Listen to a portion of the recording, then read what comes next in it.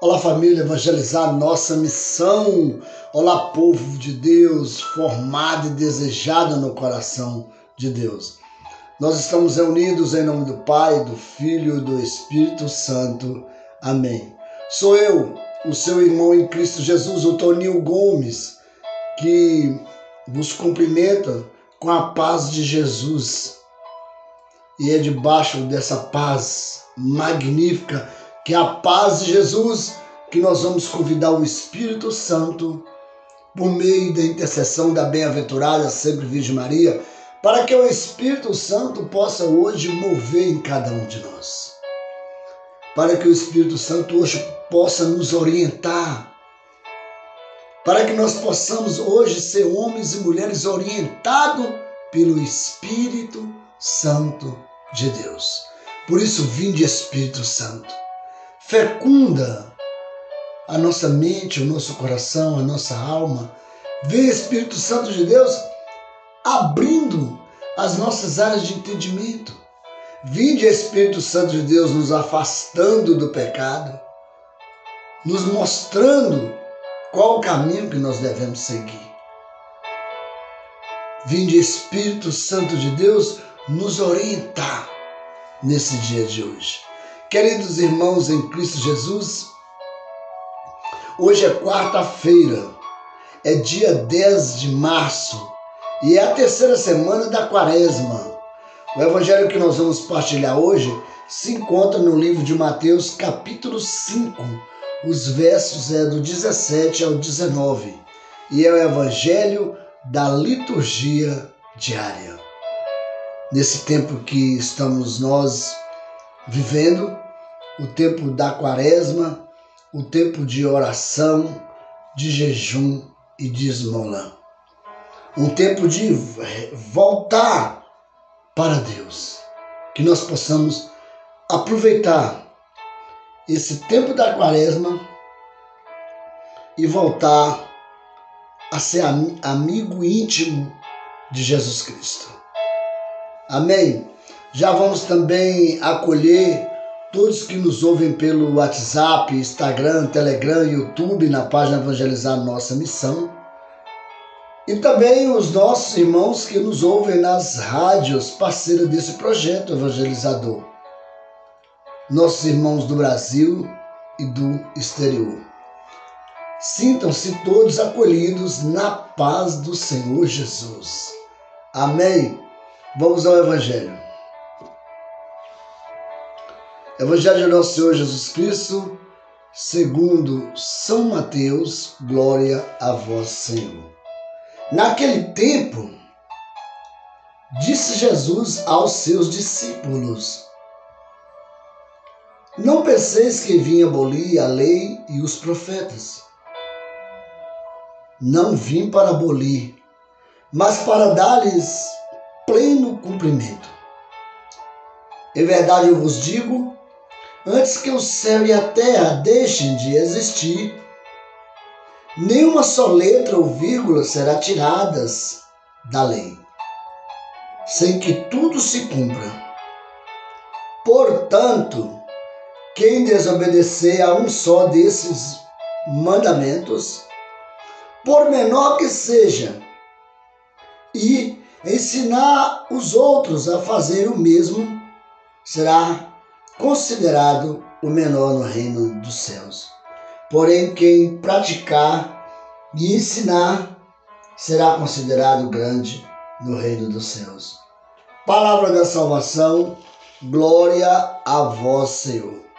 Senhor meu Deus, nós te louvamos e te adoramos por essa palavra de hoje, que nós possamos fazer uso dela e aplicá-la no nosso dia a dia. Queridos irmãos, a lei não deve ser observada simplesmente por ser lei, mas por aquilo que ela realiza de justiça. Cumprir a lei, queridos irmãos, cumprir a lei fielmente não significa subdividi-la em observâncias minuciosas, criando uma burocracia escravizante. Não podemos escravizar os nossos irmãos usando a lei.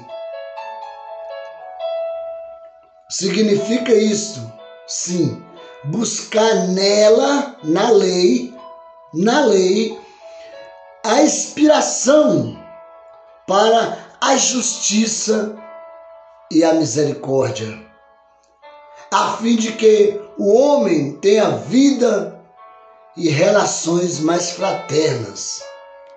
A lei tem que ser usada com a misericórdia. Nós precisamos lutar para aplicar junto com a lei a misericórdia. Não dividir a lei, não subdividi-la no que nos interessa. Não. Use a lei, porque Jesus não veio para tirar nada da lei, mas para dar cumprimento à lei. E nós podemos também observar as escrituras, queridos irmãos, foram doadas naquele tempo para Israel para ensinar o caminho da justiça. Foram doadas naquela época para Israel e doada para nós até hoje. É nas, nas escrituras que eu consigo, que eu consigo andar na presença de Deus. Eu preciso da palavra de Deus para compreender o caminho da justiça. Naquele tempo, os discípulos de Jesus não podem, ou melhor, não podiam ignorar essa riqueza que hoje somos nós, os discípulos da atualidade, que não podemos ignorar essa riqueza que é a palavra de Deus. Mas devemos interpretá-las de forma generosa e profunda, de maneira a captar o que ela tem a dizer para além da superfície como fundamento para a vivência da justiça mais ampla, uma justiça mais aberta,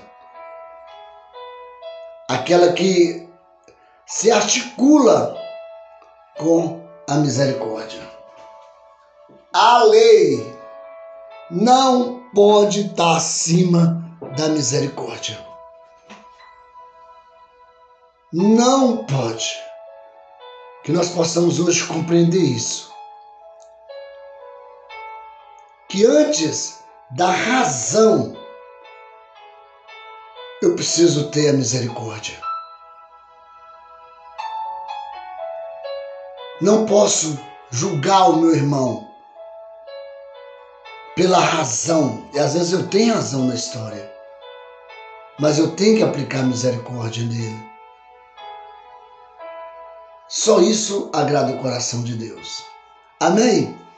Queridos irmãos em Cristo Jesus, vamos pedindo aqui a nossa mãe intercessora, a Virgem poderosa, que possa nesse momento estar tá nos dando sabedoria no pano de fundo dessa palavra, que é a lei aplicada com a misericórdia. Que nós possamos hoje usar de misericórdia diante de cada situação que nós vamos enfrentar hoje nesse dia. Santa Mãe de Deus, rogai por nós que recorremos agora a vós e ao Espírito Santo. Vinde sobre nós agora, Espírito, nos iluminar nesse dia de quarta-feira. Amém? Que a paz do Senhor esteja comigo, com você, com todos nós. Paz e bem.